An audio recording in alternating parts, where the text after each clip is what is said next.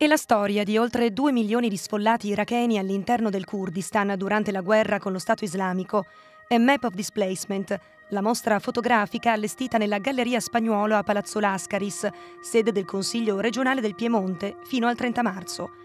40 immagini realizzate dal 2014 al 2015 da Stefano Carini, Dario Bosio e da sei fotografi iracheni che documentano cosa significa essere un profugo. Nel momento in cui ci siamo messi a raccontare questa storia qua, che racconta della guerra lontano dalle frontlines, ma racconta dell'impatto umano della guerra, um, volevamo mostrare la varietà di esperienze che, che caratterizza la, la situazione degli sfollati.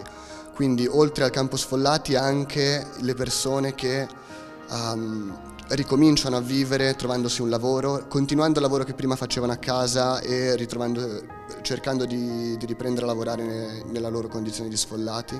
Tendiamo a vedere lo sfollato o il rifugiato come un essere passivo che vive all'interno di un campo sfollati, che vive nella tenda mentre, mentre aspetta il, eh, qualcosa.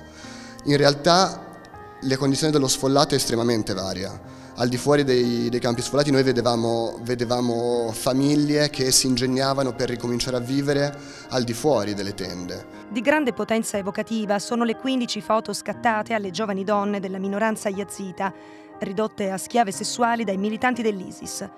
Quattro anni dopo, ancora più di un milione di sfollati vivono nel Kurdistan, molti dei quali senza più una casa a cui tornare. Molte, molte delle persone fotografate in questo momento sono rifugiati in Europa, per esempio uh, compresi alcuni dei fotografi che hanno lavorato a questo progetto e altre sono tornate nelle loro case, altre non hanno nessuna casa a cui tornare. La mostra è visitabile a Palazzo Lascaris fino al 30 marzo, dal lunedì al venerdì, dalle 9 alle 17.